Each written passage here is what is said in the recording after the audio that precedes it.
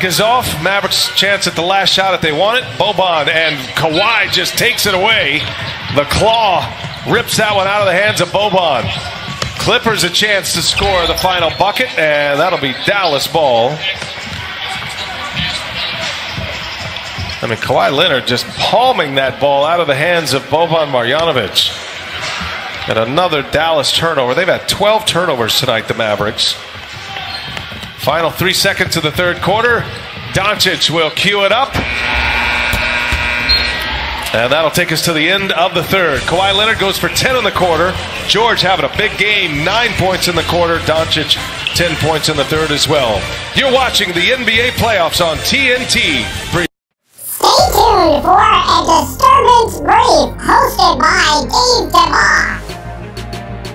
Clearly, this series is officially over. Look, when you lose a game 154 to 111, it's officially over. It won't matter what Luka Doncic can do in game six. The Los Angeles Clippers are going to move on to the second round. Now, clearly, Kawhi Leonard received his Terminator Protocol update the night before, which happened to include a new evil eye look. Did you happen to see the look that he flashed at Reggie Jackson after he fumbled the ball? Kawhi Leonard, 32 points, 12 for 19 shooting, 7 rebounds, and 4 assists. Paul George finally woke up from his hibernation, 35 points, 12 for 18, 4 for 8 from the three point line. Clearly, this series is officially over.